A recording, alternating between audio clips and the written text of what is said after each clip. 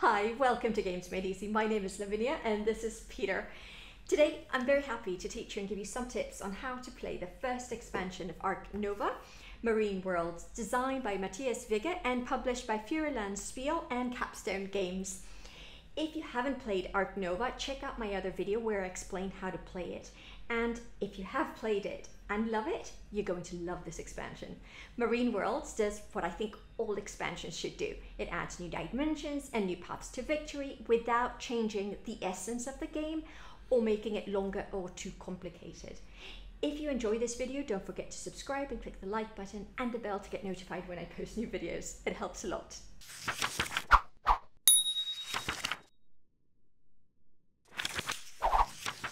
In Ark Nova, Marine Worlds, you still compete against other players to build the most appealing zoo, but this time you have new marine animals and the new aquarium enclosures. There's also new action cards, new universities, new cool counters and tokens, new bonus tiles, and a ton of new cards. Despite all these new components, the gameplay and winning conditions are the same. Before you set up, there's a few components you need to add or replace from the base game. Start with all the cards you have new base conservation, final scoring, and zoo cards. On page two of the rules, you have a list of cards you should replace. If you ever want to revert to the base game, you can easily find the cards of this expansion as they are marked with the seahorse icon. Add the new tiles and tokens to the supply. You have a small and a large aquarium. New unique buildings, new universities, new bonus tiles, and additional kiosk and pavilions. Then, for all four players, add these three alternate wooden markers which replace those that were in the base game. And seven player tokens, which are cute animals to mark the conservation projects you support instead of using your regular player markers. Finally, replace the association board and you're ready to play. Let's see what is different in the setup of this expansion. The biggest difference is the drafting of the action cards. There's an entire set of new action cards, four alternate cards for each of the five action cards, this special bonus or action is mentioned here and also explained in the description. They are also pretty cool and you can check what they do uh, in detail on pages 2 to 4 of the glossary. Some give an additional effect, some give a different value to the bonus, others don't necessarily look great at the start but have powerful effects once you upgrade them. So check the both sides. To play them, shuffle all 20 just after you've picked your zoo, but before you do anything else, randomly distribute three alternate action cards to each player. Each player picks one and passes the other two to the player on the left, who then picks one and passes the last card to the player on the left. Discard one of those three. If you have two cards of the same type of action in your last three cards, you must discard one of them as your final two cards must be of two different types. If by any chance your three cards are of the same type, draw a random one from those not in the draft. Once you have your two new action cards, exchange them from those in your base hand. It's a great way to increase the asymmetry of this game. Apart from that, playing this expansion is very much like the base game.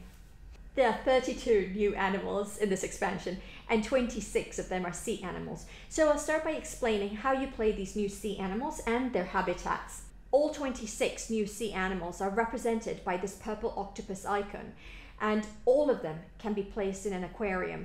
Most sea animals cannot be accommodated in a standard enclosure. That's why their enclosure size is in red. A couple of sea turtles can be accommodated in the reptile house or the aquarium. As for the African penguin, it's the only sea animal that can also be placed in a standard enclosure. There are two sizes of aquariums you can build the small one covers two spaces and the large one covers five spaces. Like the petting zoo, you can build these structures from the start of the game. And also, like all the other special enclosures, you can only build one of each type of aquarium per game. As shown here and here, these new special enclosures must be built adjacent to water, and these will count as water icons. Note that if you build your second aquarium, you don't have to place it near your first one. Like in the base game, when you build your first aquarium, if you already have animals in your zoo that can be accommodated there, you can transfer them this once. This applies to the loggerhead sea turtle and the green sea turtle. This would also work the other way round. You could transfer these two turtles from your aquarium when you build the reptile house. You cannot transfer animals as you build your second aquarium, so plan this properly. Now, let me show you the different accommodation rules for the sea animals. If there's a red hex and only an aquarium icon, you can only place the animal in an aquarium. The white number in the aquarium is the number of player cubes you place in the aquarium to place the animal. The red number is only there to indicate the size, like if you need to know it's a small or large animal. The card only shows the large aquarium, but you can use either aquarium. And strangely enough, you can also split your cubes between both aquariums. However, when you place a loggerhead sea turtle or a green sea turtle, you cannot split between the reptile house or the aquariums. The same applies when you release them. You take from only one type of enclosure. The rock icon is like in the base game. You need to place this animal in an aquarium that is adjacent to a rock space. Also, like in the base game, is the way you place the African penguin adjacent to a water and a rock. Now I'll explain what are reef dwellers. There are 15 sea animals which are also reef dwellers, shown by this red coral icon on the right side of their card. Whenever you add a reef dweller to your zoo, you trigger the ability of this animal. Most effects are explained on the card, otherwise they are like in the base game. But the really cool thing about reef dwellers is that you activate all of those already in your zoo every time you place a new one. You also decide in which order you want to play them. This can be really powerful if you're lucky enough to have three or four of them. I'll now explain the wave icon, which helps deal with the dilution of the deck naturally caused by adding more cards. All sea animals have a wave icon, as shown here. Whenever it is revealed in the display, you discard the first card in the row, then replenish. You can do this twice if you draw two in a row. Ignore the wave during setup, or when you're placing the animal into your zoo.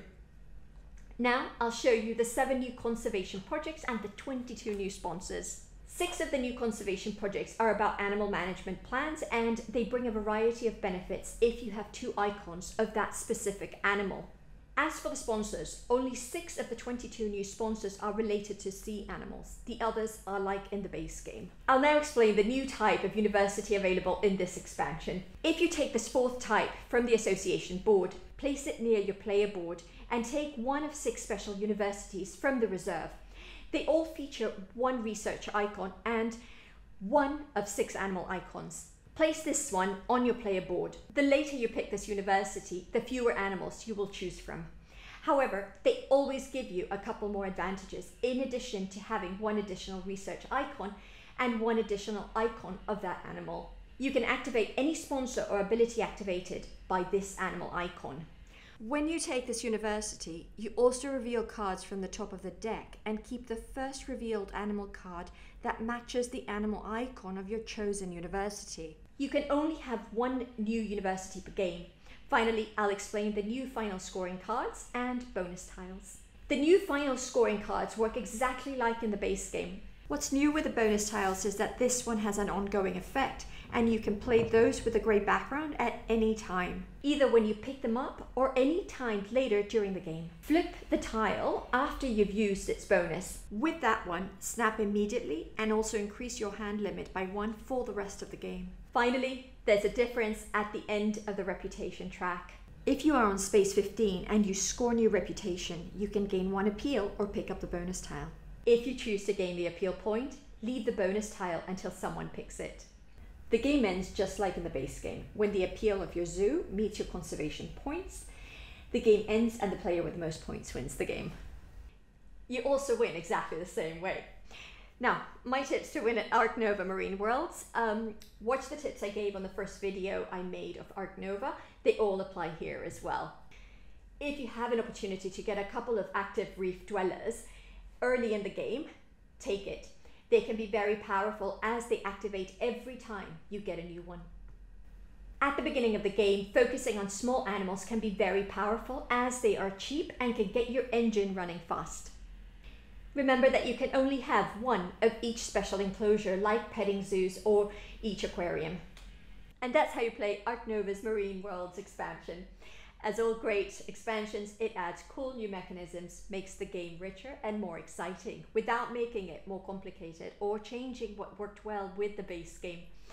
If you've enjoyed this video, please like and subscribe And if you enjoy my content, consider becoming a YouTube member, supporting me on Patreon, or buying me a coffee. The links are in the video description. And if there's a game you would like me to teach, leave it in the comments. I'll definitely check it out. We'll make more games easy soon. Bye now.